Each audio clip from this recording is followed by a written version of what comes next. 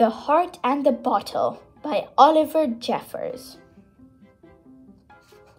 Once there was a girl, much like any other, whose head was filled with all the curiosities of the world, with thoughts of the stars, with wonder at the sea. She took delight in finding new things until the day she found an empty chair. Feeling unsure, the girl thought the best thing was to put her heart in a safe place, just for the time being. So she put it in a bottle and hung it around her neck. And that seemed to fix things at first. Although in truth, nothing was the same.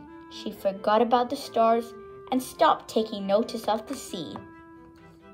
She was no longer filled with all the curiosities of the world and didn't take much notice of anything other than how heavy and awkward the bottle had become. But at least her heart was safe.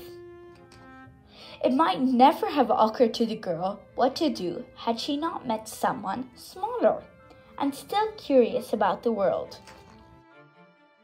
There was a time when the girl would have known how to answer her, but not now, not without her heart. And it was right at that moment she decided to get it back out of the bottle, but didn't know how. She couldn't remember. And nothing seemed to work. The bottle couldn't be broken.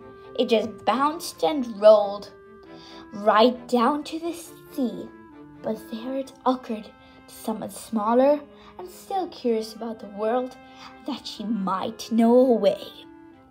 And it just so happened she did. The heart was put back where it came from. And the chair wasn't so empty anymore, but the bottle was. The end.